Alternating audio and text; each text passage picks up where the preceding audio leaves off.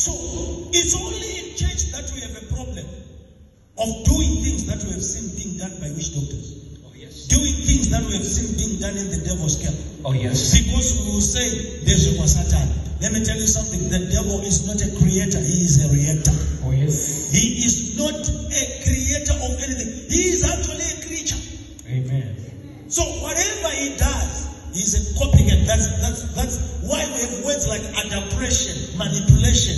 He is taking, do you actually know that the power that the devil uses to bewitch you is the power of God?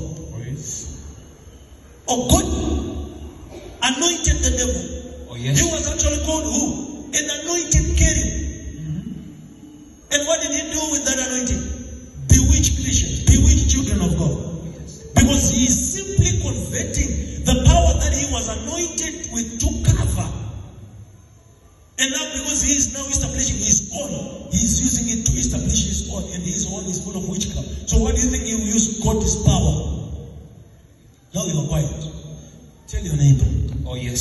Simba linoro Yesu kukumsha kwenu. Simba nnoro Yesu okumusha kwenu. Iyi anointing ya mwari. Iyi anointing ya Bwana Ili kukoshaniswa zisirizo. iri kushandiswa zisiriizo. If it is not of God, where did the devil got it?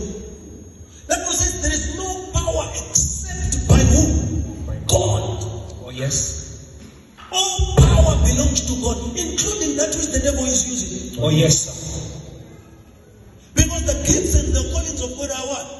Without repentance. So if God gives you, He will not take it away from you. And that's what happens with the devil. He was anointed.